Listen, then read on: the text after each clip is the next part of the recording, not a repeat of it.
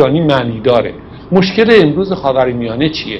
مشکل امروز خاورمیانه برخورد دو تفکر اسلامی است یعنی شیعه و سنی. به این معنا اگر ما قادر به این باشیم که برگردیم به هویت خودمون نه تنها کشور خودمون مردم خودمون نجات پیدا می‌کنن یعنی از شیعه بیرون بیایم نه اینکه شیعه رو دور بندازیم. اصلا من توهین به هیچ مذهب و دین نمی کنم هر کدومشون هر انتخابی رو که دارن قابل احترامه. ولی میگم که وقتی که برگردیم به این که من ایرانی هستم و شیعه بودنم باعث این نیست که بخوام انقلاب صادر بکنم به دنیا می‌تونم که نه تنها مردم خودم را نجات بدم بلکه قادر به این باشم که از جنگ شیعه و سنی بیرون بیام و چون بزرگترین حکومت شیعه می‌دونید یک میلیارد و چهارصد میلیون نفر یک بیلیون و چهارصد میلیون نفر مسلمان در دنیا هست صد میلیون نفرش فقط شیعه است. یک میلیارد و سیصد میلیونش سنی هست. من شیعه منی که امروز اسمم مسلمان شیعه است در کشور ایران با حکومت قداری که به نام جمهوری اسلامی هست هم منطقه رو به هم زدیم هم زندگی رو بر مردم خودمون ترک کردیم. این مشکل به نظر من این مشکل خشونت بیداد کننده در ایران ما اشاره فرمودید که بیشتر از دویست هزار نفر در سوریه از طریق بشار الاسد کشته شدند. بله گفته میشه پنجاه هزار نفر. ولی در ایران ما تو این 37 سال متجاوز از یک میلیون و دویست هزار نفر از بین رفتن. چه 700 800 هزار نفری که در جنگ ایران و عراق از بین رفتن. بچه های کوچولو آقای کاردان یعنی این آماری رو که من دارم و متاسفانه جمهوری اسلامی هیچ وقت اعلام نمی‌کنه. از گروه سنی 14 سال تا 29 سال 760 هزار نفر کشته شدن. اینا رو جمهوری اسلامی اعلام نمی‌کنه. این اعدام هایی که می‌کنن این خشونت ها همه اینها مسئله ما و مسئله منطقه و مسئله امروز دنیا مسئله خشونتیه. خشونتیه که از سی و چند سال پیش مروجش جمهوری اسلامی است. اینجا رو بهش بپردازیم. اینجا شما از من سوال بکنید که وظیفه ما ایرانی ها چیه؟ وگرنه این خشونتی رو که امروز تو اروپا هست این پناهندگانی که آمدن چندین برابرش ما ایرانی ها بودیم که در این سه دهه گذشته آمدیم. این رو بهش برخورد بکنیم. وظیفه ما رو اینجا نگاه بکنیم. ما چه کاره هستیم؟ که این مسائل به وجود میاد. من به نظر من کسانی که ایرانی ها اونایی که بیننده تلویزیون شما هستن اونهایی که به هر حال نگران زندگی های خودشون خانوادهشون وطنشون هستن به نظر من باید به من بگن که توی این سی هفت ساله تو به عنوان یک اپوزیسیون چه غلطی کردی؟ این سوال باید از من بکنن از من من رو پاسخگو بکنن. این سوال تنها از من نباید بکنن. این سوال رو باید از اپوزیسیون ایران بکنن. این سوال رو به هر حال از یکی از شناخته شده ترین افراد اپوزیسیون شاهزاده رضا پهلوی بکنن. بگن که شماها چی کار دارید می‌کنید؟ امروزی که آقای کاردان امروز توی موقعیت امروز ایران همه چیز آماده شده. جام زهر رو به دلیل مسئله اتمی آقای خامنه ای سر کشیدن. جام زهر سوریه رو که بشار الاسد نباشه رو سر کشیدن. جامعه جام زهر این که حزب الله تروریسته رو سر کشیدن. همه چیز آماده شده. جامعه هم آمادگی این رو صد درصد داره که بخواد بپذیره که این حکومت نباشه. صد درصد جامعه آمادگیشو داره. راهکارهایی که برای این قضیه این حرکت باید به وجود بیاد مطرحه. این رو ما دنبال بکنیم. من فکر می‌کنم که تلویزیون اندیشه که به هر حال بدون شک یکی از تلویزیون هایی است که جایی رو در داخل ایران داره. به حال مدیری داره مثل جنابالی سرمایه گذاری مثل آقای مهندس دورمانی داره. شمایی که مثل مجریان دیگری در تلویزیون های همسایه خودتون برای اینکه کسی رو بیارید پول ازش نمی‌گیرید. سرمایه گذاری هم می‌کنید امکانات هم فراهم می‌کنید. من شاهد این هستم. من آقای دورمانی رو از نزدیک می‌شناسم. ارادت دارم به شما به شخص ایشون به همه دست اندر کاران. با این همه امکاناتی که شما در تلویزیون اندیشه و آقای دورمانی فراهم می‌کنن خب بیایم سوال بکنیم که این امکانات برای چی به وجود آمده؟ دیگه من نمی‌تونم بگم بگم که اپوزیسیون مشکل مالی داره. اپوزیسیون امروز حداقل در تلویزیون اندیشه وقتی ما می‌بینیم می‌بینیم که یک گروه یا یک شخصیت اپوزیسیون مثل رضا پهلوی حضور داره و دیگه مشکلات مالیش هم از طریق آقای دورمانی حل میشه. دیگه مسئله رو باید به نوع دیگه نگاه بکنیم. شما من رو به عنوان اپوزیسیون و اپوزیسیون رو باید که زیر سوال ببرید. من رو باید پاسخگو بکنید. بگید که تو چیکار داری می‌کنی؟ من حسین لاجوردی. اگر معتقد به این هستم که جمهوری اسلامی در تمامیت و کلیت و موجودیتش نباید باشه و سرنگون باید بشه. من متفاوتم با اون رهبران اپوزیسیون که جمهوری اسلامی صادر می‌کنه به خارج از کشور و اینها در این تلویزیون ها حضور پیدا می‌کنن. من با اون متفاوتم. من می‌خوام جمهوری اسلامی نباشه. اونها می‌خوان آرایشش بکنن اصلاح طلب رو بیارن. اونها می‌خوان که موسوی طلب بشن. من میگم جمهوری اسلامی خوب و بد توش نداره. بله. جمهوری اسلامی دوران اصلاحاتش رو دیدید دوران آقای روحانی رو دو سال گذشتهش دیدید. آقای کاردان فقط و فقط آمار جن... نیروی انتظامی جمهوری اسلامی است. آمار نیروی انتظامی. میگه در سال 93 به نسبت سال 91 در عرض دو سال خشونت برای زنان در داخل خیابون ها 98 درصد بالا رفته. یک سال و نیم از این آمار در دوران آقای روحانی است. در دوران آقای خاتمی در دوران آقای موسوی که می‌گفتن می‌خوان به دوران طلایی امام برگردن. کدومش با هم دیگه تفاوت داره؟ احمدی نژاد بهتر از اونه خاتمی بهتر از اینه. من پس بحثم اینجاست. من اگر معتقد به این هستم یک عضوی هستم که برای مملکتم فکر می‌کنم قدمی رو بردارم حرکتی رو بکنم شما به نظر من یکی از اون آدم هایی هستید یک در رأس سازمان و دستگاهی هستید که مسئولیت دارید با همه امکاناتی که خوشبختانه در تلویزیون اندیشه وجود داره. پاسخگو کردن من و امثال من که بیاین بگیم که ما چیکار داریم می‌کنیم؟ راه حل وجود داره. در صد سال پیش پنج نفر آدم بودن که ایرانی هایی که آینده ایران رو تونستن بشینن به تصویر بکشن و ما امروز ایرانی محسوب بشیم معنیدار بشیم به ایران باستان کاری نداشته باشیم در همین صد سال گذشته. امروز این مجموعه بسیار بزرگ ایرانی ها در خارج از ایران وجود دارند ما باید سوال بکنیم که من به عنوان اپوزیسیون چه راهی رو رفتم چه غلطی رو کردم که این مجموعه حاضر نیست کنار من بنشینه و به آینده مملکتش فکر بکنه و آمادگی این رو داشته باشه که کار سیاسی بکنه. کار سیاسی کار بدی نیست. کار سیاسی عین یک پزشک که برای یک فرد انجام میده من برای جامعه هم باید انجام بدم. شما مسئولیت دارید من رو پاسخگو بکنید. من فکر کنم که اگر به این قضایی بیشتر برسیم امروز بزرگترین زمانی است که جمهوری اسلامی با وجود همه تبلیغاتی که میشه در گوشه دیوار قرار گرفته و می‌بینیم که چقدر می‌تونه ضعیف باشه و اگر اپوزیسیون به وجود بیاد می‌تونه چقدر قوی باشه. با تشکر از فرمایشاتتون اجازه بدید یک نکته ای رو خدمتتون بگم.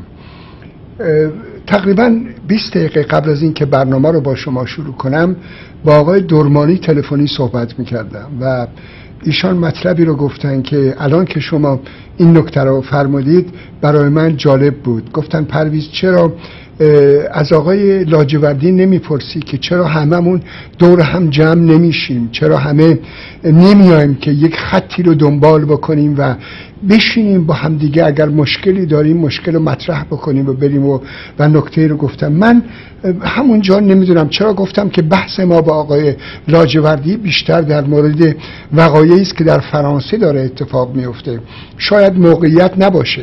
الان شما مطرح کردید. آقای لاجوردی عزیز دکتر گرامی و الان این نکته به نظر من رسیده و دلم می‌خواد که عملی کنم. ما دسترسی داریم خیلی ساده به شاهزاده رضا پهلوی. امروزه تکنولوژی هر کجای دنیا ما رو می‌تونه به دور همدیگه جمع بکنه. من به راحتی از طریق اسکایپ با شما صحبت می‌کنم با شاهزاده صحبت می‌کنم با دیگران صحبت می‌کنم. آیا فکر نمی کنید که باید یک سری برنامه داشته باشیم که همه کسانی که در اپوزیسیون هستند و تشکیلاتی دارن یا ندارن یا عقایدی دارن یا راههایی رو دارن. در زمینه با همدیگه متحد شدن و مبارزه با جمهوری اسلامی. تلویزیون ما تلویزیون اندیشه برنامه هایی رو آغاز بکنه که همین الان بتونه آغازگر این پیوند باشه. آقای کاردان دقیقا صحبت شما با آقای دورمانی انگشت گذاشتن روی اون ابهاماتی است که وجود داره و مانع از این میشه که این حرکت ها شکل بگیره. ببینید سالها پیش آقای دوربانی خودشون یادشون هست این بحث بین بنده و ایشون بود. آقای فروزنده در اونجا بودن این بحث بین بنده و ایشون بود. همیشه یک نکته وجود داشت. اون نکته این بود که حتما می‌دونید حداقل آرشیو برنامه های تلویزیون اندیشه این رو ثابت می‌کنه. من در بسیاری از مصاحبه ها این رو مطرح می‌کنم. میگم که من اگر که مخالف حزب رستاخیز بودم مخالف حزب الله هستم یک معنی مشخص داره. یعنی اینکه اعتقاد دارم باید همه ایدئولوژی ها افراد مختلف گروه ها و تفکرات متفاوت و متفاوت حضور داشته باشند. به این معنا پس اگر من به شخص خودم حاضر نمیشم لابد یه مشکلی در من وجود داره. مشکلی در من وجود داره که میترسم جلوی مردم بنشینم. شما اسم می‌برید از افرادی که میگید که تلویزیون اندیشم آمادگی این رو داره. من حالا امروز دیگه با شما مشخصتر صحبت می‌کنم. آقای دورمانی کاملا در جریان این قضیه هستن که هیچ هزینه ای نداره. بیایید با وجود همه دست و دلبازی آقای دورمانی و امکاناتی که ایشون تا به حال بسیار فراهم کردن بیایید برای ده 15 نفر ده 15 تا بلیت و سه روز هتل بگذارید. بیاید بگید که ما این 15 نفر رو دعوت کردیم پول بلیتشون رو هم میدیم پول هتلشون رو هم میدیم. اسم این ده 15 نفر هم اعلام بکنید و بعد اعلام بکنید که آیا آمدن و نه یا نیامدن. مشکلی که هست اینجاست که ما وحشت داریم جلوی مردم بنشینیم. من دلم می‌خواد که فقط و فقط با شما تنها مصاحبه بکنم. شما من, من یک کلام حرف بزنم شما بس من دست بزنید. هم چیزی نیست. این بحث بحث جدی است مردم ایران در یک ابهام بزرگ قرار دارند در یک بیاعتمادی قرار دارند این بیاعتمادی نسبت به اپوزیسیون بیشتر از همه جاست. برای اینکه من فقط تنهایی می‌خوام بنشینم. من اگر که شما منو جلوی پنج نفر دیگه بنشونید و پس سوال از من مطرح بکنید و از اون پنج نفر سوال بکنید اون موقع مسئله روشنتر میشه. اون موقع مردم می‌تونن قضاوت بکنن و تلویزیون اندیشه یا هر رسانه دیگری می‌تونه در این زمینه اثرگذار بشه. وحشت از این نکنیم که بگیم که فلانی نیامد ولی ما اسمش جرأت نداریم اعلام بکنیم. اعلام بکنیم. همین شاید که سه هفته پیشه. خانومی از دفتر سیاسی شاهزاده رضا پهلوی به من زنگ زدن که مصاحبه رو با من داشته باشن در تلویزیون افق یعنی همین تلویزیون که شما در تلویزیون اندیشه به وجود آوردید. من گفتم با کمال میل حاضرم. یک شرط فقط دارم. اون شرط اینه که خود شاهزاده رضا پهلوی هم حضور پیدا بکنن.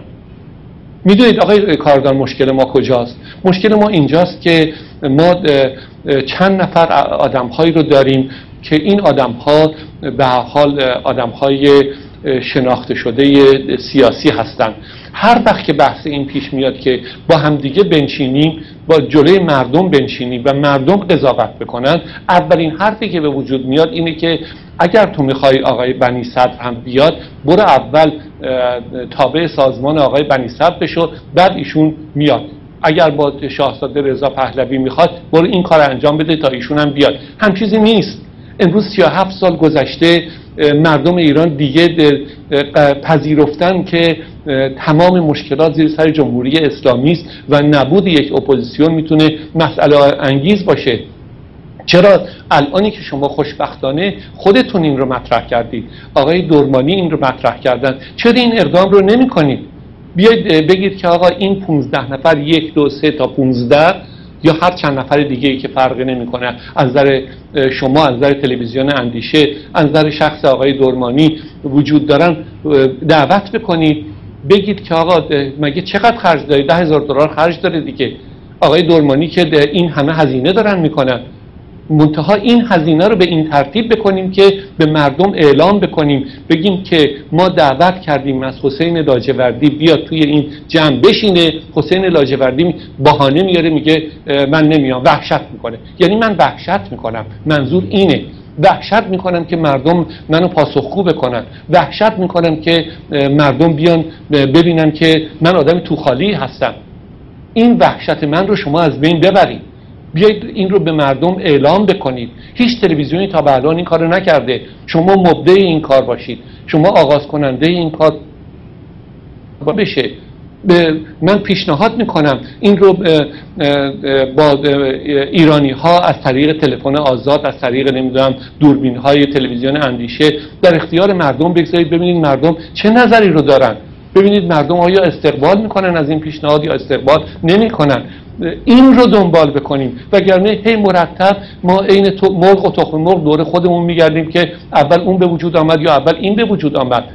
این رو اگر که ما دنبال بکنیم اگر قبول بکنیم که مبدعش آغازگرش تلویزیون اندیشه باشه شخص شما باشید پشتوانه آقای دورمانی باشه همه اینها اون وقت سره از ناصره تشخیص داده میشه. اون وقت مردم متوجه میشن که این افرادی که حضور پیدا می‌کنن چه دیدگاهی رو چه آینده نگری رو چه فکری رو برای جامعهشون دارن. اونهایی که فقط میشینن برخورد یک شالاتانیزم رو دنبال می‌کنن چی کار می‌کنن؟ سی و هفت سال از این قضیه گذشته آقای کاردان این یک عمر عمر فعال یک نسل سی ساله است 25 تا 30 ساله است.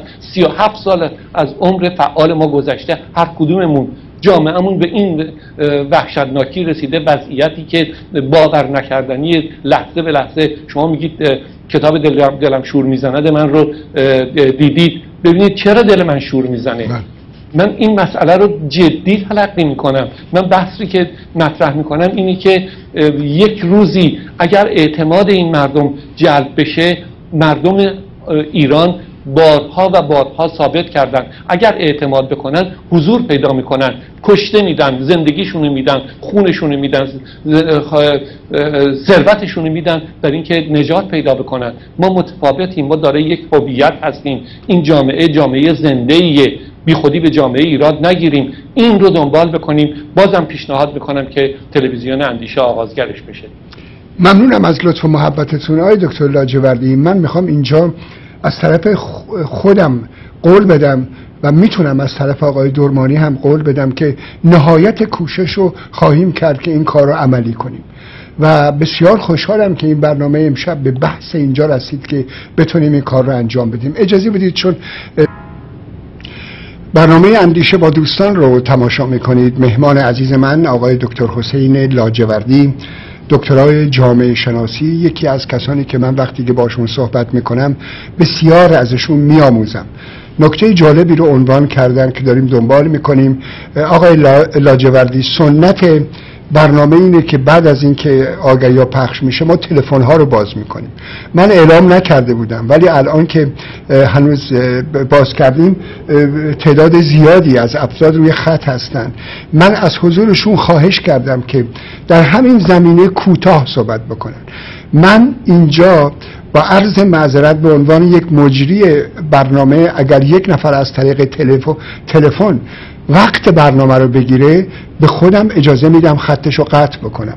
نه نشانه دیکتاتوریه نه نشانه سانسوره نه نشانه چیز دیگه است. همینقدر که اجازه میدم روی خط بیان همه چیز رو میشه به خلاصه گفت به طوری که مطلبی رو که عنوان می‌کنن برای همه مطرح باشه. یکی از دوستانم برنامه اجرا می‌کرد میگم من با یکی دو سه ساعت نمی‌تونم مطلبمو تمام کنم. گفتم بابا کتاب بینوایان ویکتور هوگو رو تبدیل به فیلم یک ساعت و نیمه می‌کنن.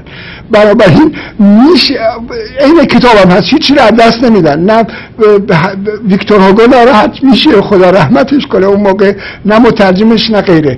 بنابراین خطوطمون همه اشغال خواهش می‌کنم کوتاه صحبت بفرمایید که من به قول خودتون سانسورچی نشم. بفرمایید خواهش می‌کنم. آقای کاردان خسته نباشید. مرسی قربان. عرض تبریک به شما تلویزیون اندیشه که مجددا از وجود آقای دکتر لاجوردی استفاده کردید. ما آخه اینقدر از این سریال تکراری تماشا کردیم. وقتی آقای دکتر لاجوردی میاد خب وقت کمی هم که ما میدیم واقعا دست و پامون گم میشه که چه سوالی بکنیم. به هر حال جناب آقای دکتر لاجوردی ضمن اینکه شما رو مجددا می‌بینم بسیار خوشحالم. ولی سوال من بی اعتمادی مردم رو چه کسانی رواج دادن و چه عاملی باعث شد که با وضعیتی که اپوزیسیون در سالهای گذشته فعالیت های داشته و ما قدردانی می‌کنیم از ایشون و با توجه به اتفاقات پاریس هواپیمای مسافربری روسیه که امروزه اپوزیسیون ناکارآمد شده.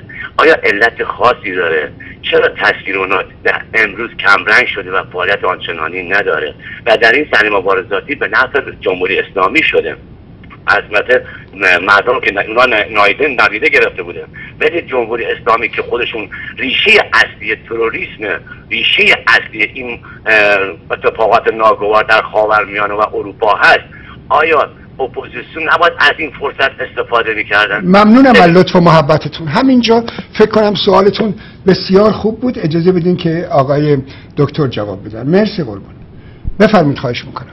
جناب کاردان با احترام بر بیننده با ارزش شما من خودم رو در جایگاهی نمی بینم که بخوام به گذشته این سی و هفت سال بپردازم و بگم که چه کسی چه کسانی چه احزابی چه سازمانهایی چه مشکلاتی رو داشتن. می‌تونم بگم که همونطوری که ایشون هم به درستی اشاره کردن یک ناکارآمدی بوده. ولی من اصولا اهل دیروز نیستم. همونطوری که روی کتابایی من می‌بینید من بحث امروز و فردا رو همیشه مطرح می‌کنم.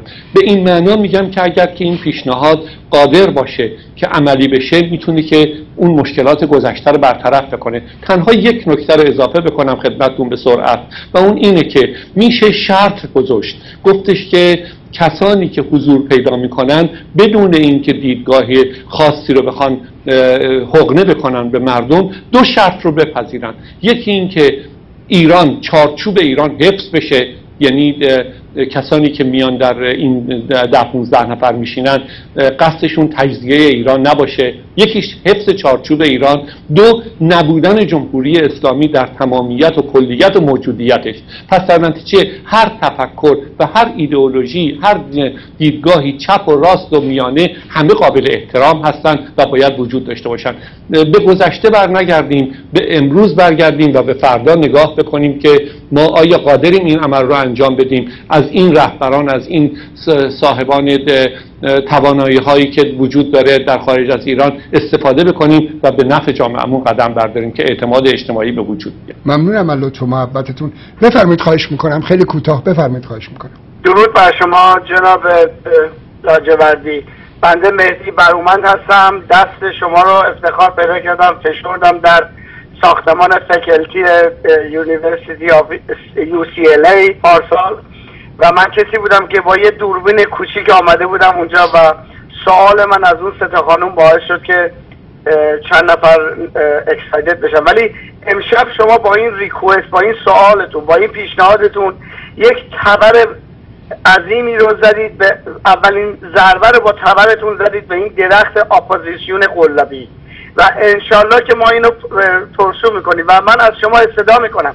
بعد از برنامهتون به من افتخار بدید. از آقای کاردان شماره منو بگیرید. من اجازه نمیدم به خودم شماره شما رو بخوام. با من یه تماس بگیرید که بی نهایت خبرهای خوب براتون دارم. ممنونم از تلفنتون بسیار چشم و یادمون باشه ایشون در پاریس هستن. اجازه بدین که بعد از اینکه برنامه تموم شد برن به قول قدیمی ها یک چرتی اقلم بزنن. بعد اگر خواستن چشم تلفنش رو تقدیم می‌کنن. بفرمایید خواهش می‌کنم. بفرمایید. آقای کاردن درود بر شما. همچنین آقای دکتر لاجوردی دانیال هستم. ارسونم خدمتتون که من در کنار این پیشنهاد آقای دکتر لاجوردی یه چیزی به پیشنهاد ایشون اضافه می‌کنم که سریع بفرمایید. نفری که می‌خواین دعوت کنید به عنوان بدون تار... بدون هیچ گونه فوت وقت به عنوان شورای رهبری دعوت بکنید که زیر مجموعش بعدا می‌تونه یه پارلمان در هم تشکیل میشه. دو لطف کنید این این افراد مثلا دو نفر از به اصطلاح جامعه خارج از کشور مسلمون سیاسی هاشون یا آگاهان به مسائل سیاسیشون دو نفر از شخصیت های مسیحی یهودی بهایی زرتشتی یا لایک اینا رو هر کدوم اجازه بدین اجازه بدین معذرت می‌خوام. اجازه بدین هنوز این کار پیشنهاده. موقعی که خواستیم عملی بشه حتما یه جلسه می‌گذاریم و نظر همه رو می‌خوایم. ببخشید آقای لاجوردی بفرمایید خواهش می‌کنم. جناب درود بر شما و جناب لاجوردی.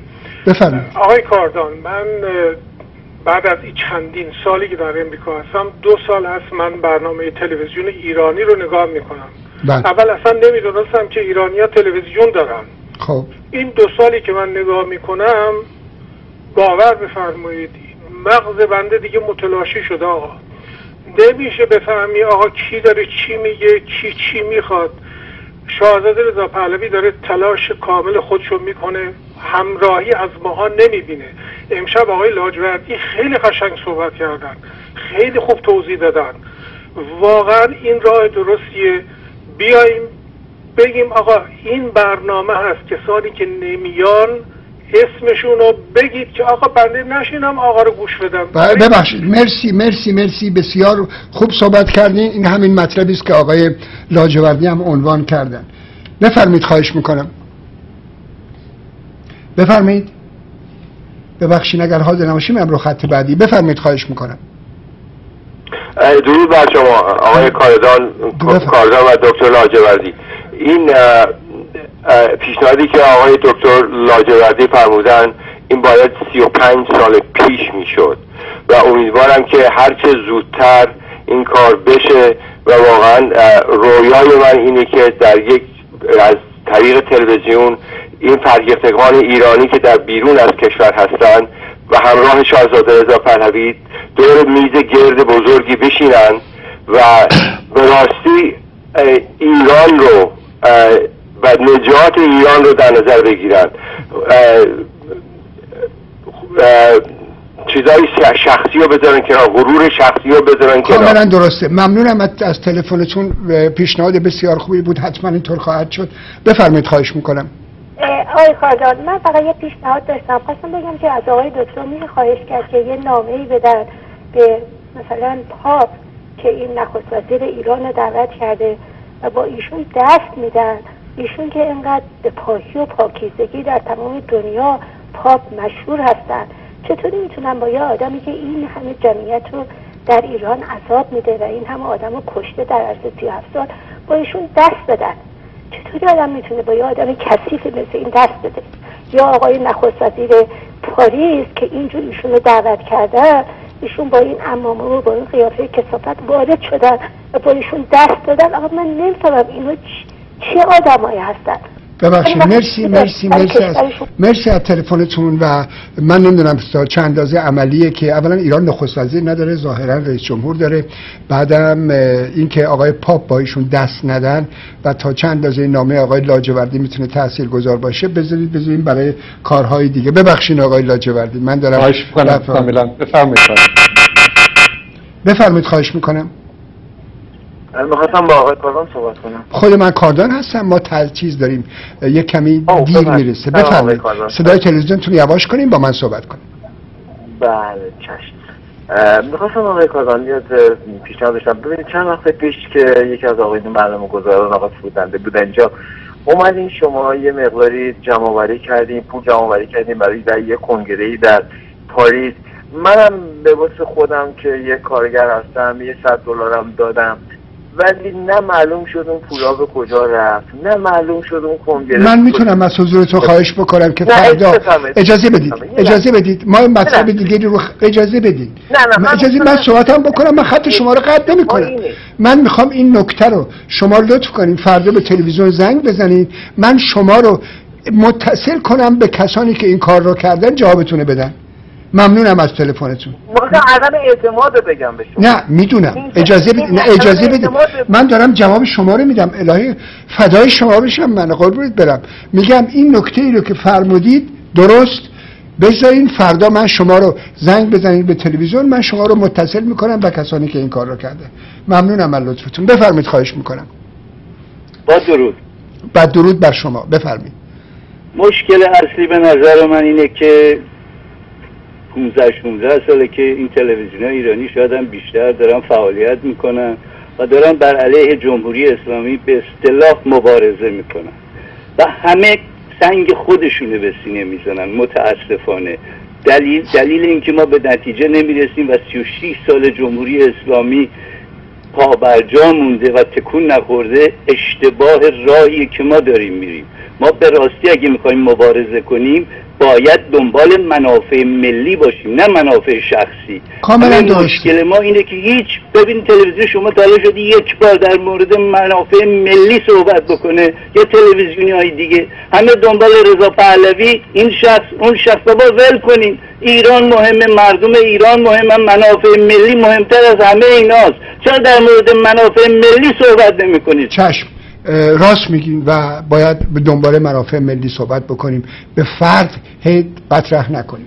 اجازه بدین خط بعدی رو بگیریم. بفرمایید خواهش می‌کنم. درود به شما جناب آقای پرویز کاردان و آقای دکتر حسین لاجوردی. من واقعا سپاس گذاری می‌کنم از شما که گوهر گرانبهایی مثل آقای دکتر دعوت کردید. واقعا این بهترین خبری بود که ایشان یعنی تولد نو بود برای من. و استدعا می‌کنم که هر چه سریعتر این برنامه رو انجام بدید آقای دکتر لاجوردی فرمودن ما عمر ما تمام نشده بریم ایران رو ببینیم. سپاسگزارم. ممنونم. لغت جالبی رو به کار بردن آقای لاجوردی. تولد نو. امیدوارم این تولد نو. راجم این صحبت که شده مطلبی داری یا من خطا رو من اگر که خطا رو باز بکنید من ترجیح میدم. ولی اگر هر چیزی بفرمایید در خدمتتون هست اجازه بفرمایید چون همش اشکاله. بفرمایید خواهش می‌کنم. با سلام. با سلام. بفرمایید سلام از منه. بفرمایید خواهش می‌کنم. آقای کاردان عزیز می‌دونم مصرف من یه خود ناراحت میشید ولی این دوستان فارس ما ملتی هستن که نمی‌تونن با هم متحد بشن. در طول تاریخ همین اتحاد پیشکششون بیاد یه حزب درست کنید. شما هیچ وقت نمی‌تونید دو تا فارس پیدا کنید سر یه مسئله با هم توافق کنن. اصلا واسه اینه در طول هزار سال اخیر همش ترکا در ایران حاکمیت داشتن. من اینو نمیگم کسی بخوام اذیت کنم ولی واقعیت همینه. کنگره ملیت ایران فدرال هست.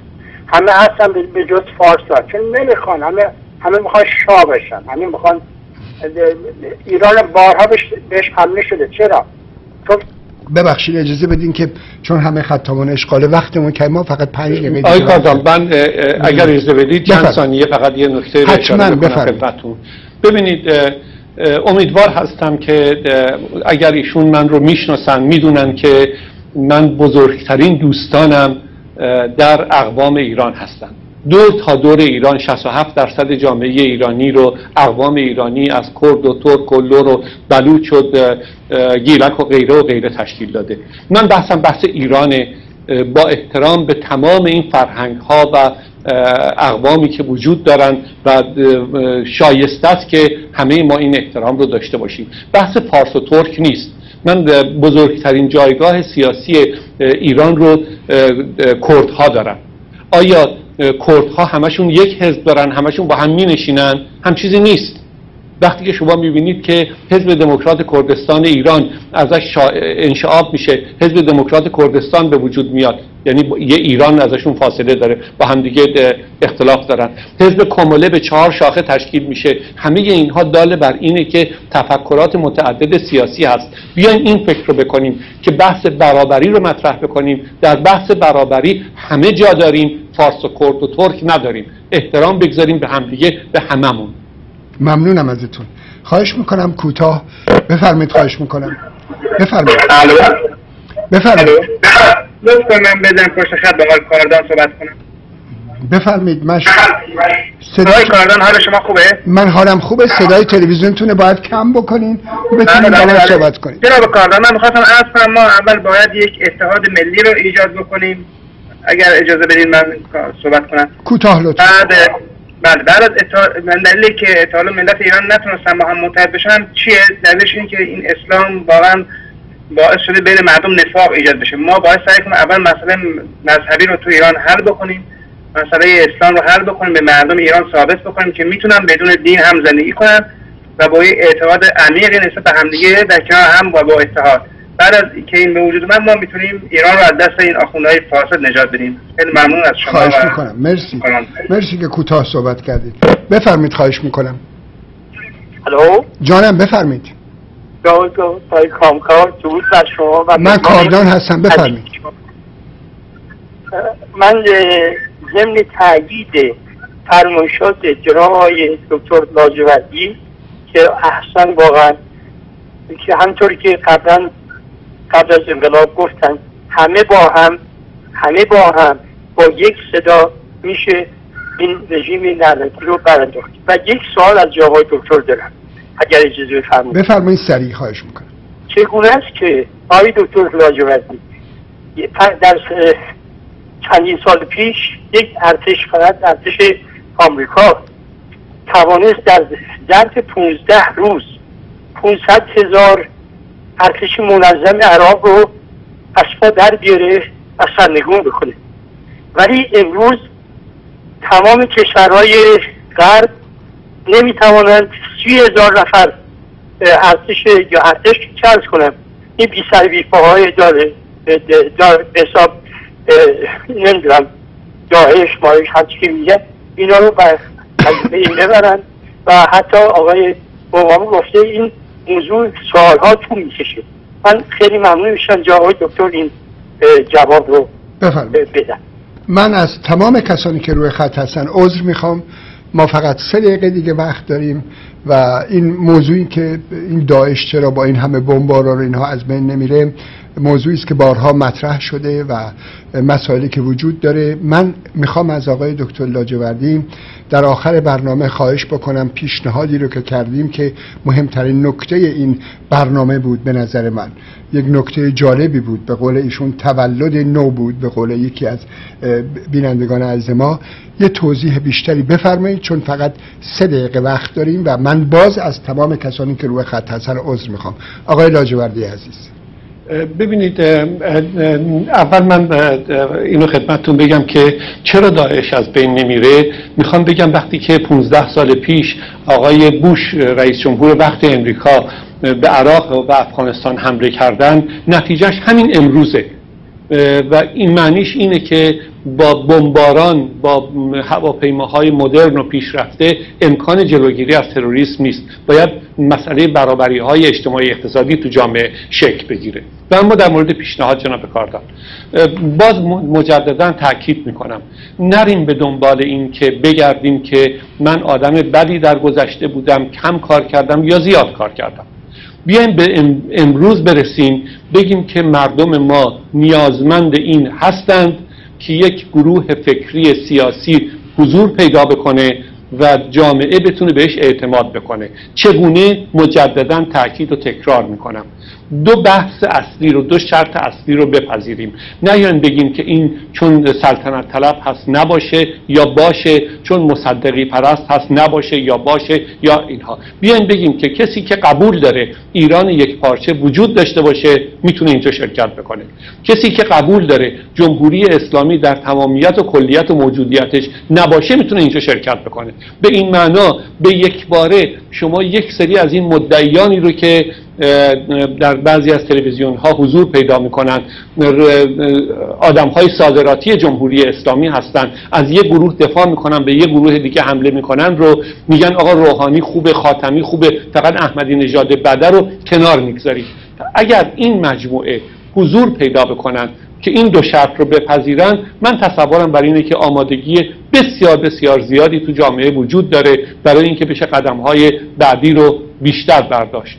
با سپاس بسیار از شما و همینطور همینجا اشاره می‌کنم تلاش های بسیار گسترده ای رو که آقای دورمانی کردن و می‌کنن.